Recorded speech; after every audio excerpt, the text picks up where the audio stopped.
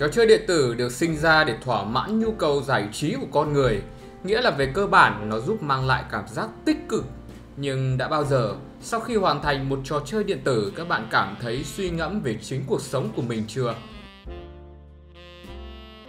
Năm 2000 trong bối cảnh mà có rất nhiều tựa game được sinh ra đều mang khuynh hướng đánh đấm và mang tính cạnh tranh, có một tựa game đã đi ngược lại hoàn toàn.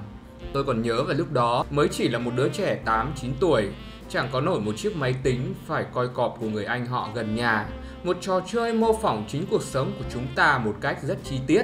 Tôi bắt đầu manh nhà, làm những thứ của một người trưởng thành, lập gia đình, sinh con, đi làm, nuôi chó mèo dành hàng giờ để nhìn các sim của mình sống hạnh phúc trong ngôi nhà mà chính mình tạo ra.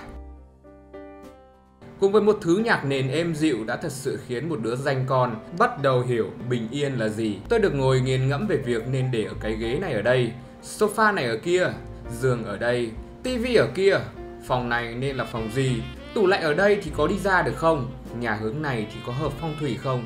Những kiến thức về thiết kế nội thất phức tạp nhưng không hiểu sao, hồi đó lại thấy lôi cuốn kỳ lạ. Chúng ta được bắt đầu với một gia đình có thể đặt tên rồi tùy chỉnh ngoại hình theo ý muốn mình thường chơi nhân vật nữ ờ, vì ờ, vì họ dễ thương.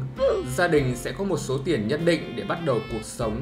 Những thành viên trong gia đình sẽ chưa có mối quan hệ gì mà chỉ đơn thuần ở cùng nhà. Điều chúng ta cần làm là tăng chỉ số relationship giữa họ để có thể hình thành các mối quan hệ khăng khít, bền chặt. Bên cạnh đó, còn có công việc và cái hình ngôi nhà là kiểu thời gian dành cho bản thân. Nhưng một con người đâu chỉ đơn giản như vậy. Bên trong mỗi task đó lại phân chia ra các loại chỉ số phản ánh tính cách, kỹ năng và quan trọng nhất là các nhu cầu của sim. Và nếu không kịp đáp ứng hoặc ép buộc sim làm theo ý mình thì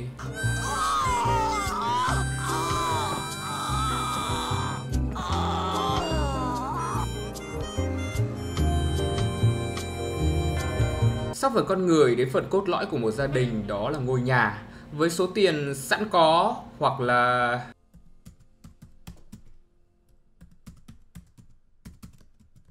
Chúng ta có thể mua một ngôi nhà có sẵn hoặc một khu đất riêng để tự xây. Mọi thứ từ tường, gạch lát, nội thất mái nhà đều tự tay lựa chọn và khi ấn thanh play, một cuộc sống mới bắt đầu. Các sim trải qua đầy đủ hỉ nộ ái ố, nhận một công việc thông qua việc đọc tin tuyển dụng trên báo, nấu ăn vụng về đến hỏa cả hoạn. Nhà nào không có báo cháy thì nhìn từng thành viên trong nhà như Ghost Rider, còn nếu có điều kiện lắp đặt báo cháy, chuông báo sẽ mang anh cứu hỏa đến, giữ bạn và gia đình ở lại dương thế. Những người hàng xóm bạn bè gần xa nô nức yến anh, đến ăn trực rồi không rửa bát, hay trình độ nấu ăn có hạn nhưng cái mồm thì vô biên, phải gọi pizza đến và bị hàng xóm ăn mất. Xem TV cả buổi trời đã tối om, là lúc lên giường đi ngủ thì bỗng từ xa có một tên trộm gian manh lén lút à không, nó ngang nhiên vào nhà và cuỗm mất những món đồ giá trị như cái lò vi sóng chẳng hạn. Vì sợ chủ nhà quay lại với người yêu cũ, dù đã cố gắng báo cảnh sát nhưng tăng chứng, vật chứng, nhân chứng không có, khiến cảnh sát mắng mỏ thật tội nghiệp. Nếu cảm thấy sự hạn chế và nhàm chán của một gia đình ít người, cô đơn, nghèo đói, thiếu sự tương tác giữa các cá thể, hãy thử bắt đầu với một gia đình tầm 4 người.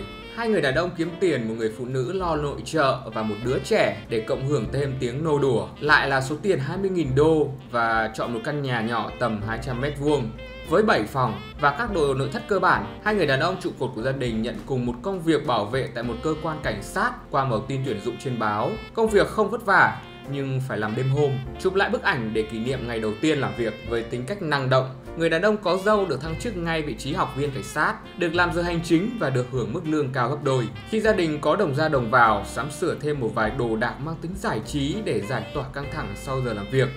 Vì căn nhà cũng nhỏ, ở nhà cũng chả có gì chơi, nội trợ cũng chả ai ăn. Cô gái duy nhất trong nhà hay đi chơi thể thao, tính cách thích vận động, đã bén duyên với công việc vận động viên chuyên nghiệp. Kiếm tiền bằng đam mê thì còn gì bằng. Gia đình bận rộn không mấy khi ở nhà bắt đầu xuất hiện những vấn đề. Tắm rửa, nước chảy đầy ra nhà không ai lau. Ăn uống sinh hoạt, rác rưởi hôi thối không ai dọn. Sau nhiều năm nỗ lực và phấn đấu, đại gia đình đã lên 6 người, sinh sống trong một cơ ngơi nhà vườn rộng rãi 1.000m2.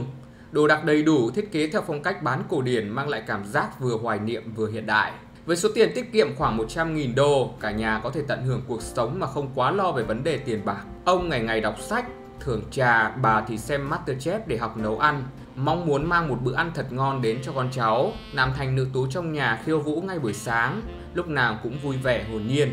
Ngôi nhà của họ không thiếu thứ gì, thậm chí có cả một cỗ máy để cast phép thuật.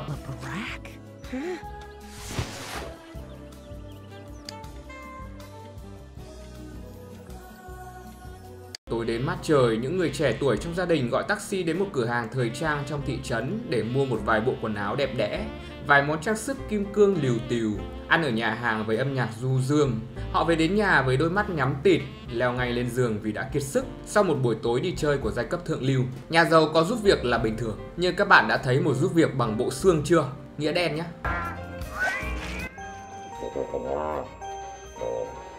Các bạn thấy đấy sẽ chẳng có một kịch bản nào cho gia đình trong giờ sim. Mọi thứ cứ êm đềm trôi như cuộc sống thường nhật nhàm chán của chính ta. Hoặc không nhàm chán lắm nếu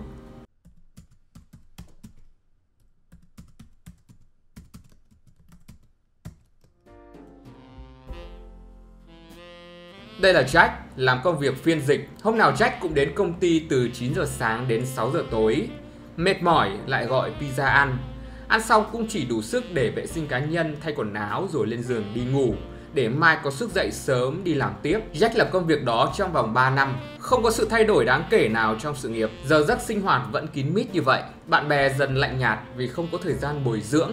Các sở thích cá nhân cũng dần bị quên lãng vì thời gian ngủ còn thấy ít ỏi. Một hôm Jack ốm nặng, Đi bệnh viện, anh mới có thời gian bắt đầu suy nghĩ về cuộc đời của mình. Guồng quay này rồi sẽ đưa anh đi về đâu? Mục đích sống của anh là gì? Anh kiếm tiền để làm gì? Cuộc đời anh có ý nghĩa gì? Anh cảm thấy cô đơn, lâu rồi anh không đi hẹn hò, xem phim ăn tối với một cô gái nào đó. Jack thử gặp gỡ một vài người trong đó có Rose. Cô gái hợp anh về ngũ quan, Họ hẹn hò rồi nhanh chóng về ở chung với nhau. Cuộc sống với Rose khiến anh vui vẻ, hạnh phúc hơn, đồng thời cũng mang lại cho Jack âu lo về trách nhiệm và sự tự do. Jack không còn hứng lên là đi du lịch vào một ngày mưa bão, mà phải đắn đo, cân nhắc, chi tiêu cho hợp lý với nguồn thu của cả hai người. Lâu dần Jack lại cảm thấy tò mò về cái chết nếu nó là cái đích cuối cùng của cuộc đời. Vậy ta có đang phí hoài nó không? Anh bỗng thấy việc lập gia đình, có con cũng chẳng cần thiết đến thế. Anh cảm nhận được tiếng gió, tiếng lá cây cùng với âm thanh của sấm chớp như thể tự nhiên đang giao tiếp với mình. Anh cảm thấy thoải mái hơn nhiều, nhưng không biết rõ bản thân mình muốn gì. Đó là những dấu hiệu phổ biến của khủng hoảng hiện sinh, một vấn đề tâm lý của con người. Trò chơi The Sim đã khiến mình rơi vào trạng thái băn khoăn đó vì sự bình yên và lặp lại của nó và với góc nhìn của mình thì khủng hoảng hiện sinh giống như một người bị suy nghĩ quá nhiều dẫn đến không dám dấn thân hẳn vào một lối suy nghĩ nào. Chọn, sai lầm, sửa sai và chấp nhận như một quy trình cho mọi việc. Mọi thứ sẽ đều có hai mặt và cái giá của nó. Nếu chỉ nhìn vào mặt tiêu cực của sự việc, chúng ta sẽ mãi đứng ở ngã tư đường và chỉ nhìn người khác đi mà thôi. Các bạn thấy sao? Cùng bình luận bên dưới nhé. Như thường lệ, tôi là Châu Linh. Còn bây giờ thì see ya!